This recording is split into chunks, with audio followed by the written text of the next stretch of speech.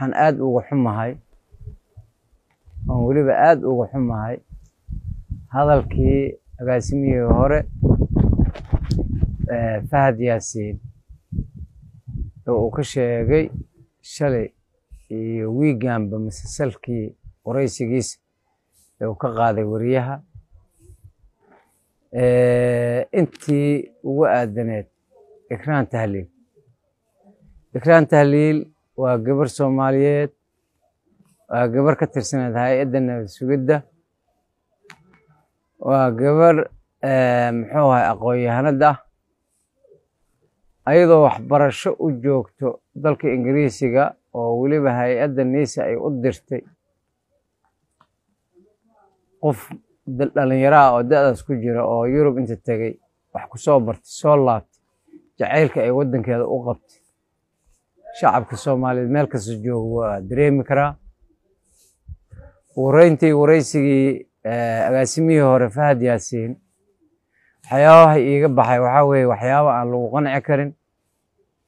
Weliba ceeb ku ah hay'addii uu soo maamulayay iyo shakhsiyan isagaba ceeb ku ah. Sababta aan u leeyahay waxaa weeye marka hadda aan isku eedeynayo shakhsiyaad ay siyaasadda isku qabteen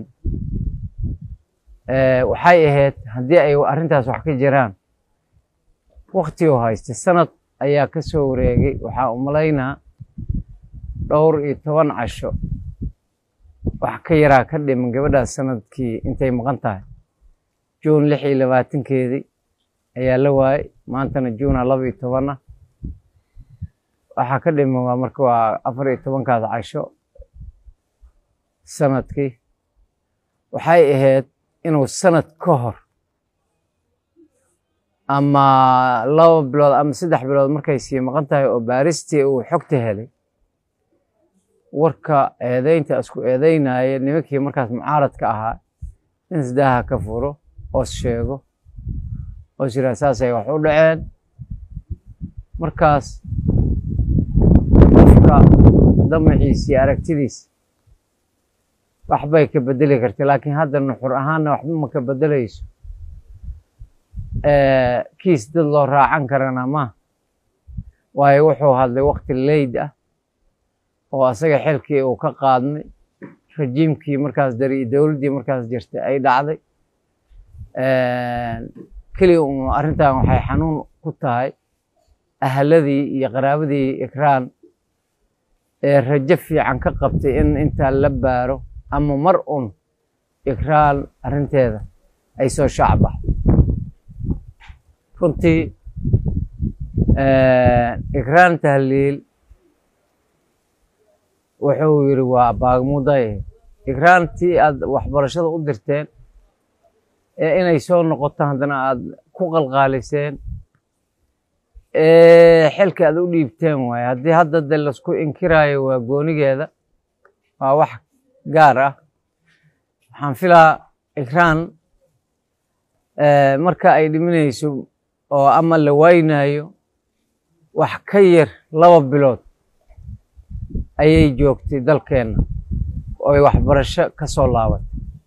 Kadib markii coronavirus oo jaamacaddii aad u dirteen oo ka joojiyey oo jaamacaddii la xeri ayaad tidhaahdeen soo laabo shaqaa lagaaga baahan yahay marka waxaa hubaal ah qofka markuu xil ummadeed u haayo waa inuu mas'uuliyad dareemaa. Waxaan fahamsanahay arrintan inay mas'uuliyad dare dabada ku hayso in muxuu ahaay ikraan. Waxay ka mid tahay qoyska la yidhahda nisa qoyskii nisa ayay ku maqan tahay. Horena waa u sheegay haddii maanta run laga sheegi waayo oo laga run sheegi waayo hadda ka hor anoo la fadhiyo taliyaha nisa kumeelgaarka ahaa ama markaas ahaa taliyaha gobolka banaadir ee nisa markaa ahaa walaalkay yaasiin faray haddana xildhibaan ah iyo nin la yidhaahdo wadnaqabad anoo la fadhiyo. Gabadhana markaa arrinteeda aad ay xasaasi u tahay oo cusub tahay waxaan ku yiri markaan ku wareeray hadalladii iyo sida yaasiin farey uu baaritaanka mashquul ugu yahay